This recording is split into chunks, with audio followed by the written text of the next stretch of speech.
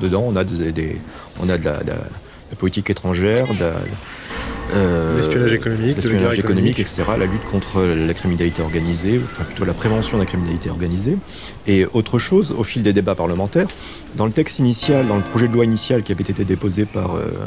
euh, Christiane Taubira, Le Drian et Cazeneuve, il était dit que les services devaient assurer la défense